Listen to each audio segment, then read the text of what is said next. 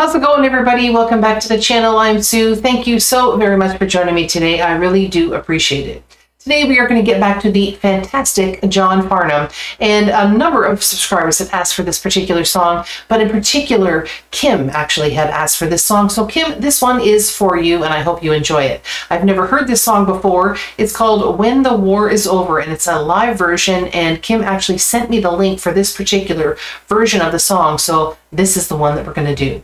Before we get going though, if you could all like the video and subscribe to my channel, it really does help me a ton. It gets my videos up to other people, which helps the channel to grow. And if you care to, you can always become a member of the channel. So click on the join button. It'll give you all the info that you could possibly need. All right, here we go. John Farnham and When the War is Over live. And it says that the last time in Melbourne, 2003. Any information on this particular song, please put it down in the comments. Here we go.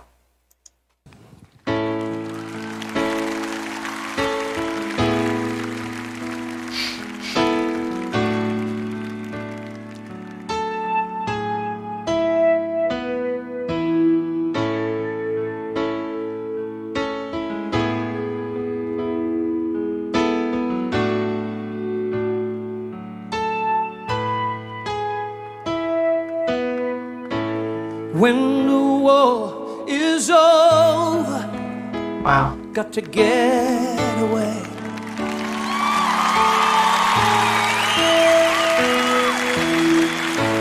Pack my bags to no place in no time, no day.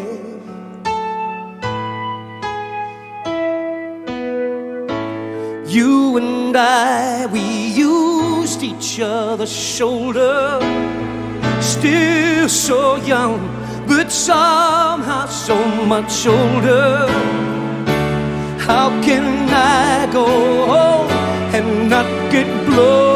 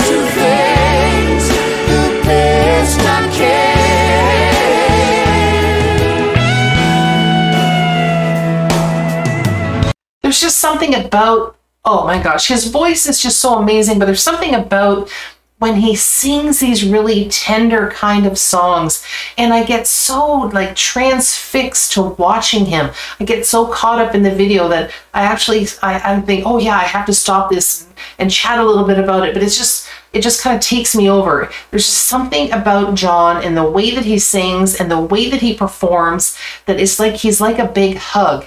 It's like he wraps you up in his arms and it's almost like he's just he's just almost rocking you in a way. It's just absolutely gorgeous. He is amazing. I love his voice. I love these very kind of sentimental and beautiful kind of ballads. He just performs them so very well. He's just lovely. I just can't say enough positive things about him.